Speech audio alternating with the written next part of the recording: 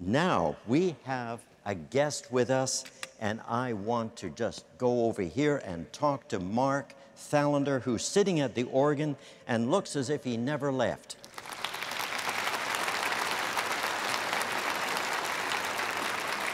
Mark was an organist here at the cathedral a number of years ago, and how long ago was that, and how long were you with us? Well, I was here for 18 years, and I've been gone for 18 years. Oh, 18 and 18. Right. So this is kind of an anniversary. It is. Tell us a little bit about uh, uh, your life and a little bit about that accident that you had, Mark, some years ago.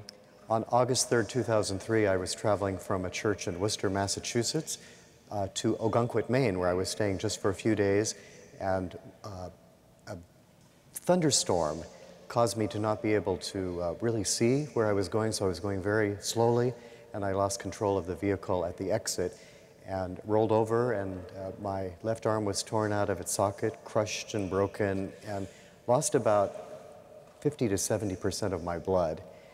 So I'm very grateful to be here today. Right. And as I mentioned before, I was so grounded in possibility thinking with 18 years here, and I had selected as my life verse Philippians 4:13. So that just kept going in my mind, in my Christian memory. I can do all things through Christ who gives me strength. Oh, wonderful. That's praise the Lord for that. We're so glad you're back. Thank you.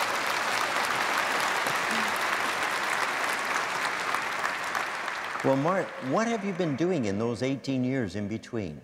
Well, most recently, I've been a part of the Mark Thallander Foundation, where we bring together choirs that are accompanied by uh, normally wonderful pipe organs, and we've had up to 1,100 adult singers and 400 children, as well as smaller festivals. We've been in Hawaii and Missouri and Maine and Massachusetts, and our first Canadian festival will be on June 3rd. Wonderful. That's great. That's great to hear.